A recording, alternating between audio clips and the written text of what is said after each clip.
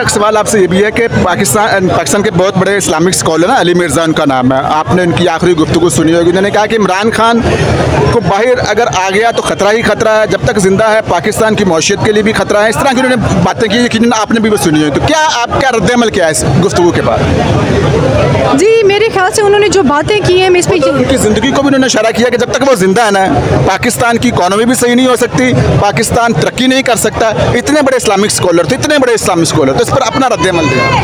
अच्छा जी भूख हड़ताल कैंप का मतलब ये है कि खाली पेट रहना है और आठ बजे तक भूखे रहेंगे आप लोग। जी बिल्कुल। जी बिल्कुल पंजाब असम्बली के बाहर पाकिस्तान तहरीक इंसाफ के जो रहनुमा हैं जो कारकुनान हैं उनकी जानब से भूख हड़ताली कैंप जारी है। हमारे साथ एक एम पी ए मौजूद हैं इनका तारुफ भी करवाएँगे आपको और बात भी करेंगे इनसे। अस्सलाम वालेकुम। जी वालेकुम सबसे पहले आप अपना नाम बताइए जी मैं नादिया फारूक खैर हूँ हल्का P P two seventy seven से डिस्ट्रिक्ट कोटा दूसरी। क्या कहेंगे ये भूख हड़ताल कैंप जारी है एहतजाज होता है गिरफ्तारियाँ होती हैं मुतालबात तो आपके पूरे नहीं होते। तो अब ये जो भूख हड़ताल कैंप है इसके क्या मुतालबात हैं? जी हमारा मुतालबा ये है कि हमारे लीडर इमरान खान साहब को हमारे ग्यारह लोग जो बिला वजह उनको मुतल किया गया है उनको और हमारी तमाम लीडरशिप को और हमारे वर्कर्स को रिहा किया जाए। आप कह रही हैं रिहा किया जाए? अभी मरियम औरंगज़ेब ने प्रेस कॉन्फ्रेंस किया उन्होंने कहा कि खान साहब ने तो करार जुर्म कर लिया है। अब अब करार जुर्म कबूल जो सा है वो नहीं होगा बल्कि सजा होगी। मामला तो बड़ा सख्त होता जा रहा है। जी इनके पास एक बंदा भी अगर ये किसी को पकड़ते उसको बिठा के प्रेस क्लब में बिठा देते हैं और उसका पूरा बयान पूरी पाकिस्तान को दिखाते हैं और वो फिर वो दूध के धुले हो जाते हैं। ये अगर इतने ही सच्चे और ईमानदार है तो इन्हें कहीं ना ज़रा मेरे लीडर इमरान खान साहब की वीडियो तो दिखा दें जहाँ पर उन्होंने इकरारनामा किया है या उन्होंने माना है कि वो हम गलत हैं तो दिखा दें कौम को। उनको भी सुकून आ जाएगा शायद हमें भी आ जाएगा पूरा पाकिस्तान जो उनकी एक झलक का इंतज़ार करे उनको भी सुकून आ जाएगा। यानी कि आपका मतलब है कि ऐसी कोई बात नहीं हुई अपने पास से बातें कर रही है? जी ये बहुत झूठे लोग हैं इन्होंने हमेशा झूठ बोला है और ये आज भी झूठ बोल रहे हैं और इनसे तो भी नहीं है। अच्छा भूख हड़ताल कैंप का मतलब ये है कि खाली पेट रहना है और आठ बजे तक भूखे रहेंगे आप लोग? जी बिल्कुल हम भूखे रहेंगे और ये सिर्फ़ हमारा एक अभी एक अलामती है। इसके बाद आप टाइम के साथ साथ देखेंगे हमारा टाइम दुरानिया भी बढ़ेगा और यहाँ पर लोगों की तादाद भी बढ़ेगी। तो आप आने वाले वक्तों में देखेंगे कि हम इस भूख हड़ताल को बढ़ाएँगे जो भी हमारी पार्टी की इंस्ट्रक्शन होगी इन हम उसके मुताबिक चलेंगे।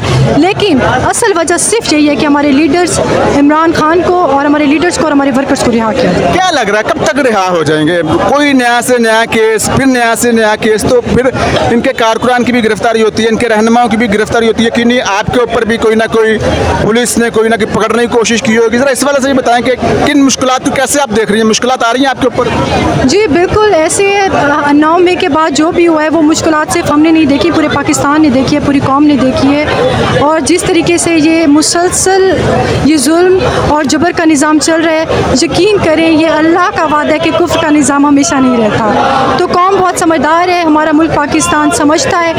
वो इस चीज़ को बेहतर जानता है ये निज़ाम ज़्यादा देर नहीं चल सकती ये लूली लंगड़ी हुकूमत ज़्यादा देर नहीं चल सकती। अच्छा तो आप कहेंगे आपने जब इलेक्शन में आपने हिस्सा लिया कैसे कंपेन करती थी? पाबंदी नहीं थी? जी सख्त पाबंदी थी। इन्होंने हमारा निशान ले लिया हमारी जमात ले ली हमें घरों में बिठा लिया। अगर हम बाहर निकलते थे तो हम पे जुल्म करते थे हम पे एफ़ आई आर कर दी गई हमारे वर्कर्स पर कर दी गई, उन्हें जेलें काटनी पड़ी। लेकिन ये जो वोट था, ये वोट खान का था, ये वोट मेरे लीडर इमरान खान का था।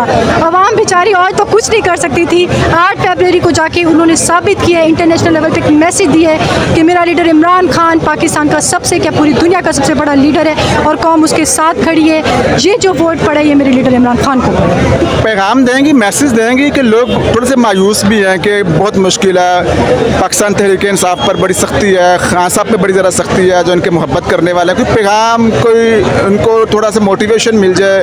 आप पर भी जो मुश्किल आई हैं सारी बात है, आपने इलेक्शन लड़ा, जीती, जिस तरीके से आपने कंपेन की, इजाज़त नहीं थी इंतबी निशान ले लिया गया तो कोई उम्मीद बाकी है क्या आगे इमरान खान जी, इस बात पर मैं सिर्फ़ इतना कहूँगी कि मेरी कौम, मेरा पाकिस्तान बिल्कुल मायूस नहीं है। अगर किसी को ये लगता है कि मेरी कौम मायूस हो रही है तो ये वो गलत फहमी का शिकार है। क्योंकि मेरा लीडर इमरान खान एक साल से ज़्यादा अभी तक अपनी कौम के लिए जेल में बैठा है। उसके चुने हुए नुमाइंदे आज भी ये जंग लड़ रहे हैं। नौ मई के बाद से लेकर आठ फरवरी तक जो मुश्किल दौर गुजरे, हमारी तारीख में मुश्किल दौर नहीं गुजरा।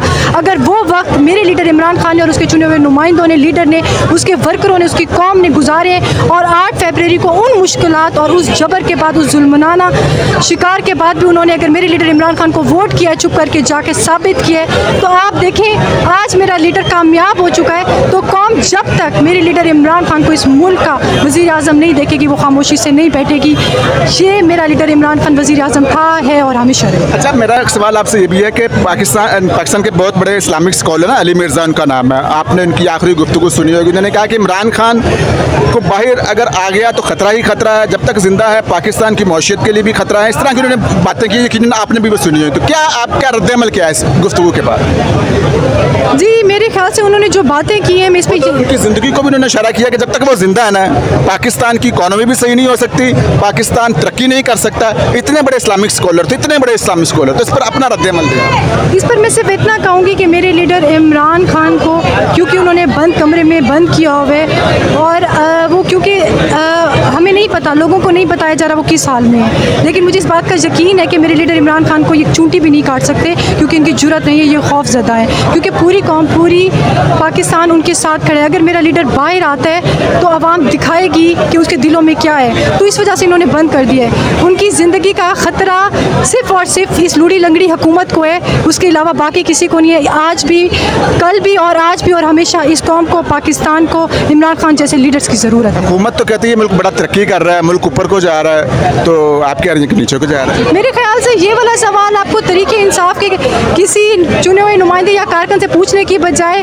आपको आवाम से पूछना चाहिए आपको आवाम की राय लेना चाहिए बड़ा ज़रूरी है। क्योंकि जहाँ जिस हुकूमत के पास आवाम की ताकत नहीं होती है तो उनकी हुकूमत बाकी नहीं रहती। आपका बहुत बहुत शुक्रिया। कि जैसा कि आपने ये एम थी पाकिस्तान तरीके से इंसाफ की जिनकी आपने गुफ्तु सुनी है यहाँ पर भूख हड़ताल कैंप लगा हुआ आप देख सकते हैं ये भूख हड़ताल कैंप है ये मनाजिर आप देख सकते हैं यहाँ पर मैं कैमरा मैन कहूँगा कि ये देखिए सारे मनाजिर है। यहाँ पर एम पी ए भी हैं, पाकिस्तान तहरीक साहब के कारकुनान भी, ये सारे जो मनाजिर हैं, ये यहाँ पर हैं। तो ये हमने आपको दिखाने थी। नेक्स्ट वीडियो तक के लिए इजाज़त, अपना बहुत ख्याल रखिएगा। खुदा हाफिज़।